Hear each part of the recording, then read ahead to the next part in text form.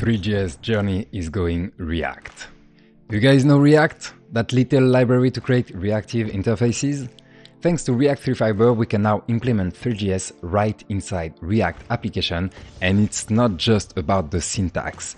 React Three is huge, with tons of tools and features that will change the way you create WebGL experiences.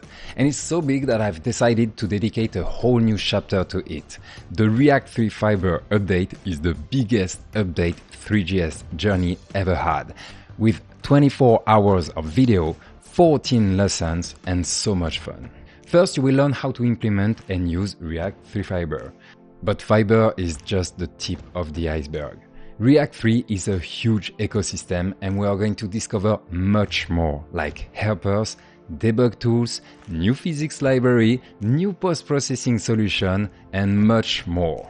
In order to practice in a familiar context, we are going to redo some of the iconic lessons like the 3D text or the baked portal. You will be stunned by how fast and easy it became.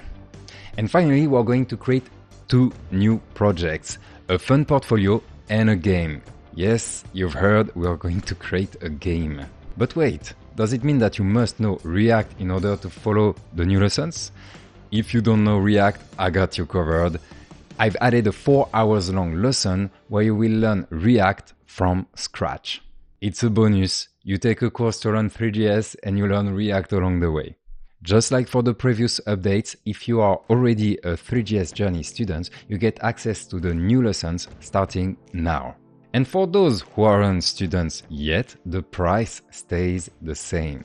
Actually, you know what? Here's a 30% discount with the code R3F valid for the next 3 days only. What are you waiting for? Come and join us!